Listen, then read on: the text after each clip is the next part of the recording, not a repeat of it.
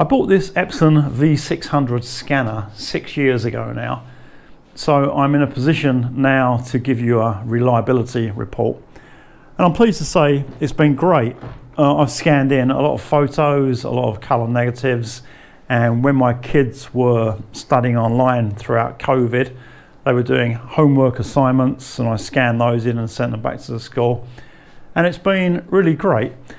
Now, the one thing that I haven't tried so far are slides because I've never shot slide film.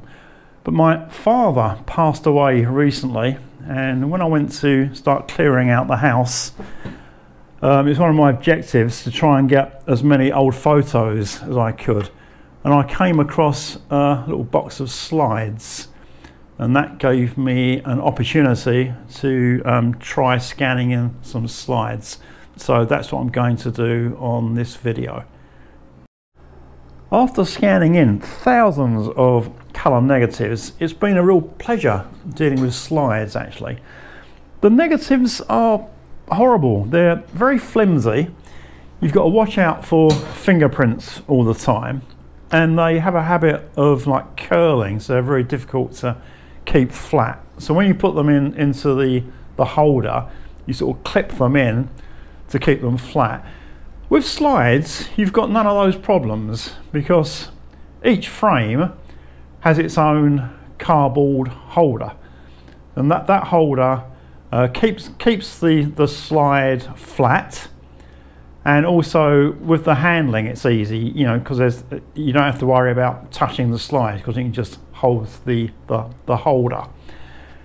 So it's a bit different um, putting the slides into the, the scanner holder.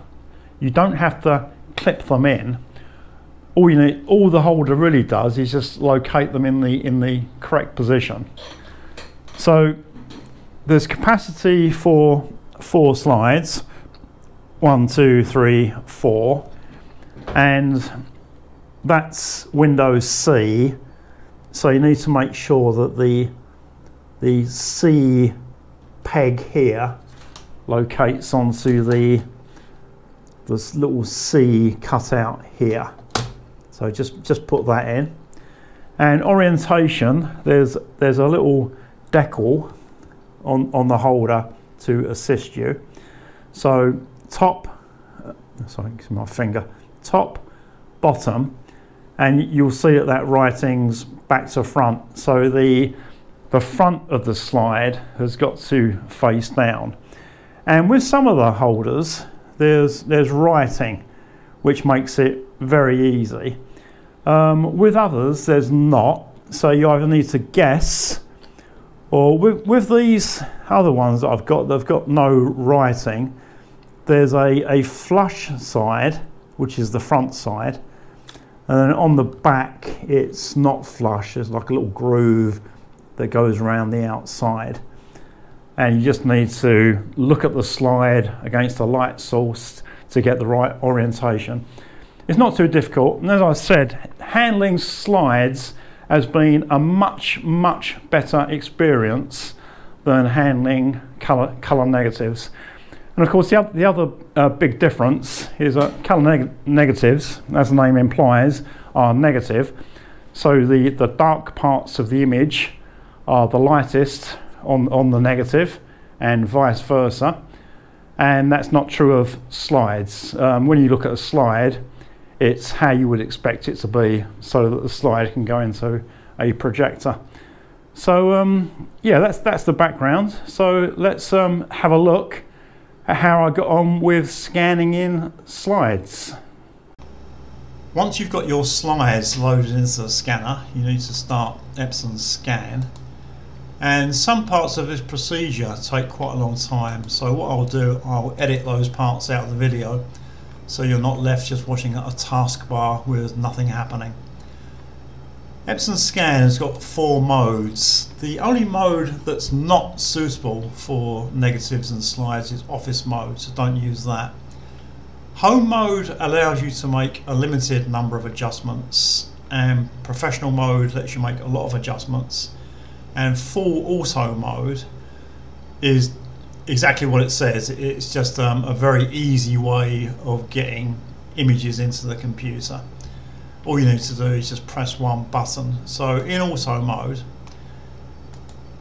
click the customize button, um, file save settings, if you, and browse here, um, this will tell the computer where to store the images. Choose the folder you want. And also the, the file format, uh, bitmap, JPEG, PDF, TIFF, multi-TIFF. TIFF is lossless, uh, JPEG is compressed. I think bitmap is lossless. Multi-TIFF allows you to put multiple images into one file.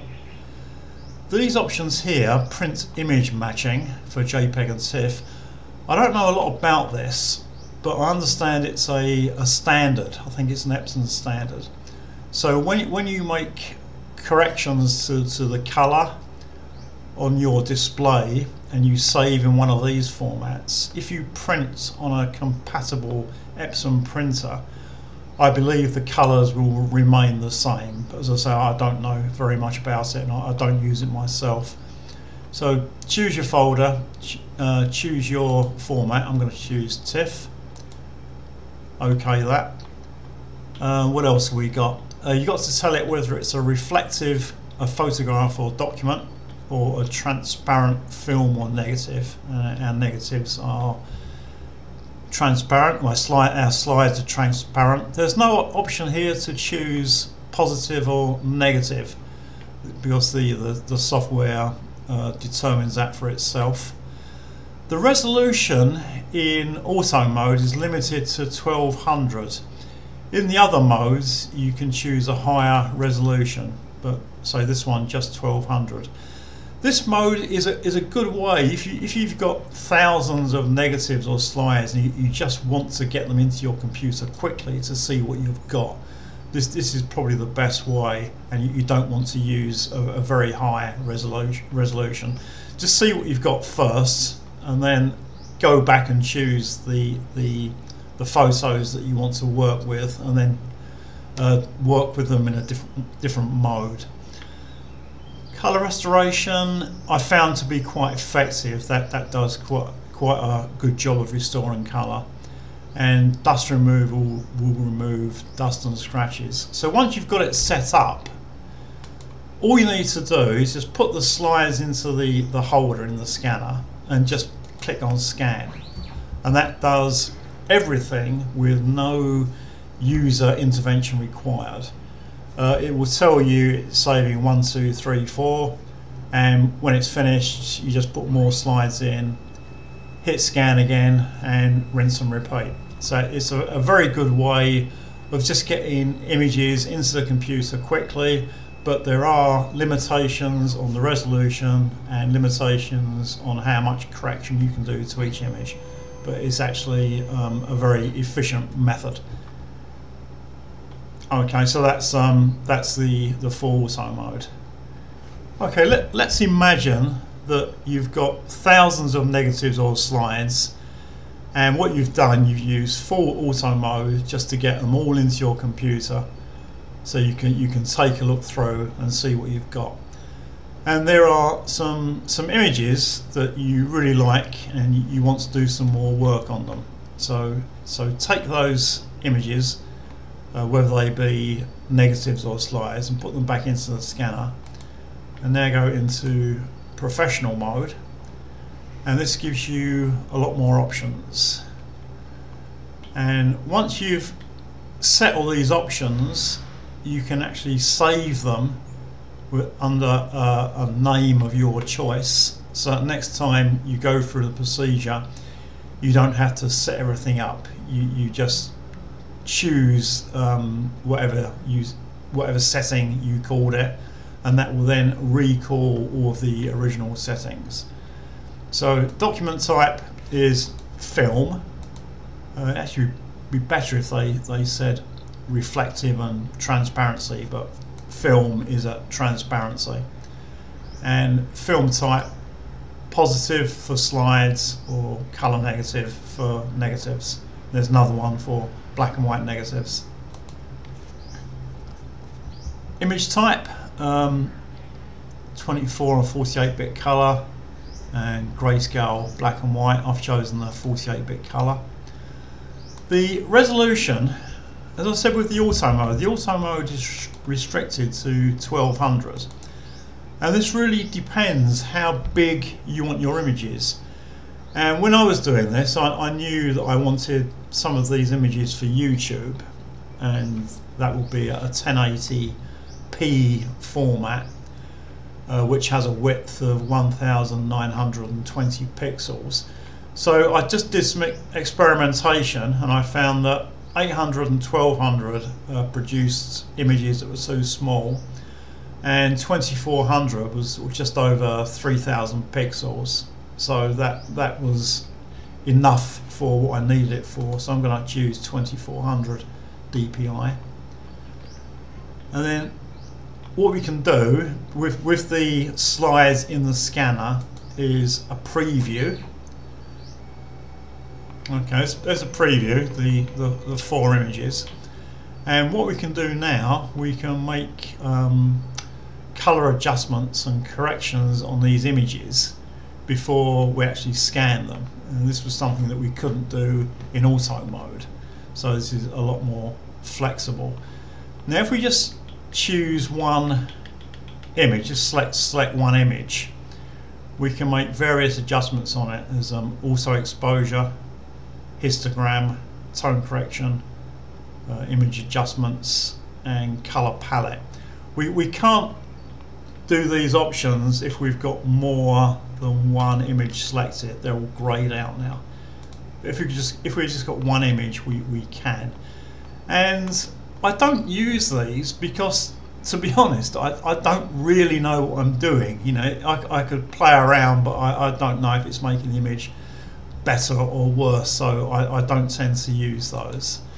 So what I what I normally do is just select all.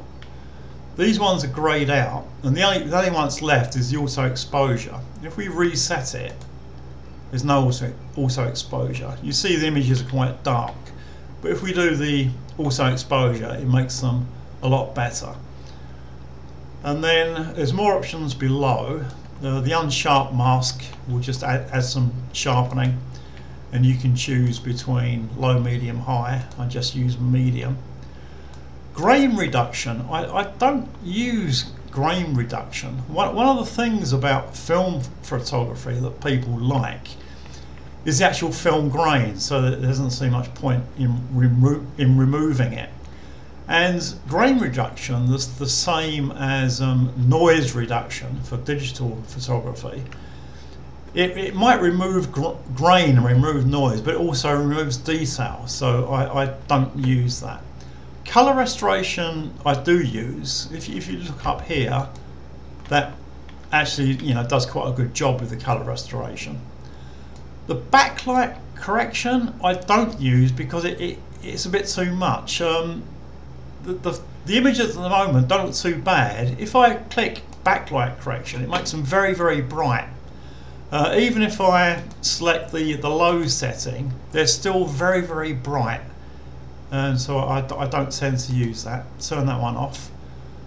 And then uh, digital ice. Uh, this this technology is, is sort of um, a bit sort of um, magical. Um, I, I don't know a lot about it, but what I understand is that the scanner uses an, an infrared scan to detect dust and scratches.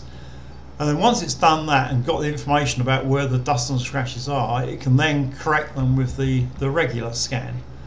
Um, so it, it, seems to be quite clever, and I, I normally it adds time. That's the only thing. It adds time to your scan. So if, if you've got a lot to do, you may not want to use it. If you haven't got too many, it should improve the image, but it will add some time. So once you're ready, just scan. Then it comes back to um, this window. You, you can select the folder you want to save the images to and the, the format. So I'm just going to keep with the, the same folder and TIFF. Okay. And then okay, it, it, it will start scanning automatically. and as I said this part takes quite a long time so I'm going to not edit this all out of the video it really does take a long time using the professional mode especially when you start doing a lot of corrections and using the digital image correction and enhancement and dust removal. Just those four slides took about 13 minutes. Uh, and here are the the scans in my my folder. And you can see the variation in size depending on the resolution. So at 2400 3032 by 1927 this one here uh, 7198 by 4712 I think I did a DPI 6400 and the ones on auto mode which was just DPI 1200 1800 by 1144 so your choice of resolution really depends on how big you want your images and with this professional mode um, don't take you know what, what I said to to sort of literally just do lots of experimentations there, there are a lot of adjustments so um, just just take a few negatives or slides and play around adjusting various things until you get the result that you want. And if you find that professional mode is a bit too much, a bit too complicated, you could have a look at home mode. That's going to release, that's going to um, erase the preview. But home mode is simpler than professional mode. So here just use positive film or color negative. And you've got adjustments, but there aren't as many adjustments there there are in professional mode. So that, that may be another option. The adjustments you can make on your images are really infinite. You've got all those options in the scan software. And then once you've scanned your image in, you can open it with Photoshop. And then you've got even more adjustments. You, have got, um, it opens the images in Camera Raw. So you've got all these adjustments and all these adjustments as well. So you could play around to see if um, any of the adjustments make the image look better. And then once, once you've finished in RAW, you can open the image in Photoshop so uh, what I would normally do for YouTube, first I would make it the, the right size. So I crop it to the, the 16 by 9 aspect ratio. Image crop, then I would get it to the right size. Give it a 1920 width, so it's 1080 height. and then I, I, I normally uh, put in a, a, levels adjustment so I just play around the levels to to make it look a bit better everyone's got their their own ideas on, on what they do in, in Photoshop for um, image enhancement so then once you're happy then flatten the image maybe give it a bit, little bit of sharpening um, once you're happy, then save it in whatever folder you want. And um, I scanned in as TIFF, so it was lossless. But when I'm preparing images uh, for, for YouTube or just to send in emails or for the web, I, I would normally save in JPEG. Okay, well, I hope that was useful. If you've got any uh, comments or questions, please please leave them below and thank you for watching.